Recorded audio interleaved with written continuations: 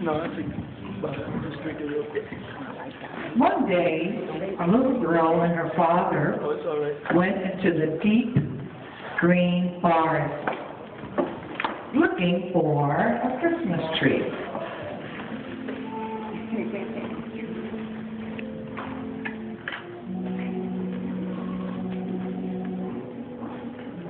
The girl ran through the forest but couldn't find a single tree she liked.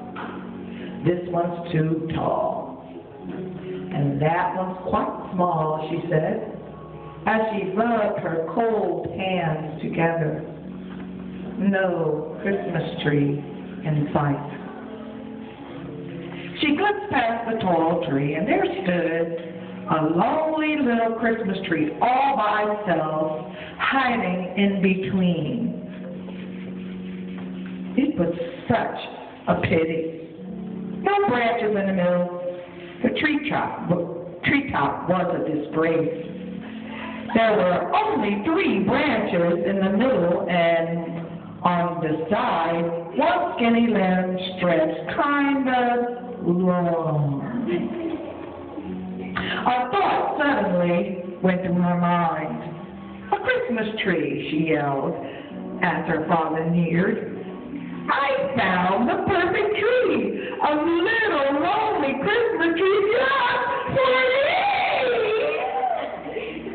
She looked at the tree with dark green needled leaves, all saggy and sad. The sight of the drying leaves did not make her glad.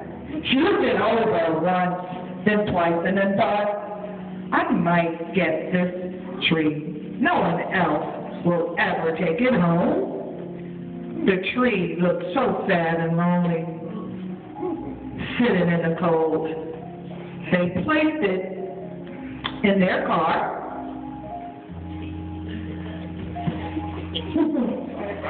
Okay. and took the lonely little Christmas tree home.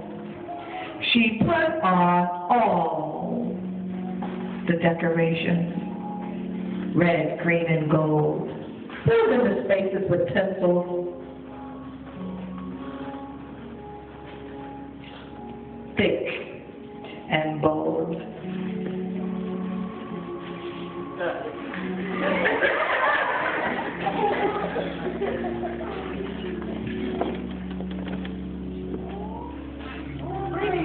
The light hugged the tree with colors so bright and warm. She smiled and said,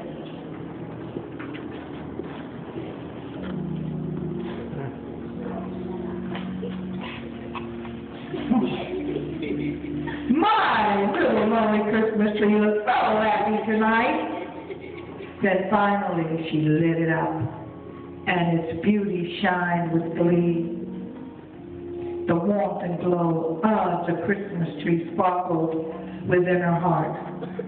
She and her friends danced and danced all around it through the night, for it filled her with such joy.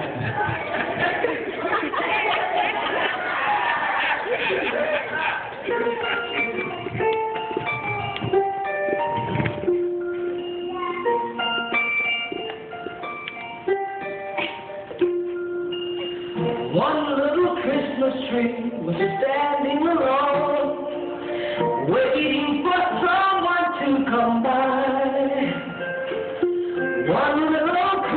Tree that never grown, cried as he looked up to the sky. Oh, please, Mr. Tree, the time is over. I'm so afraid and so alone.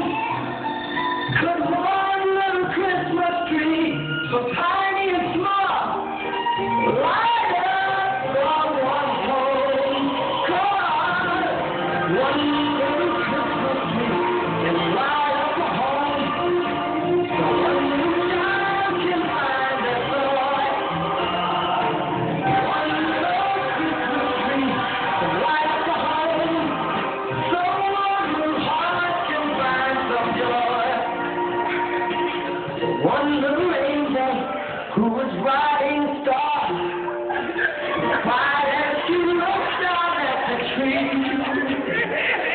oh, please, Mr. Bobby Tree, wherever you are, may I give?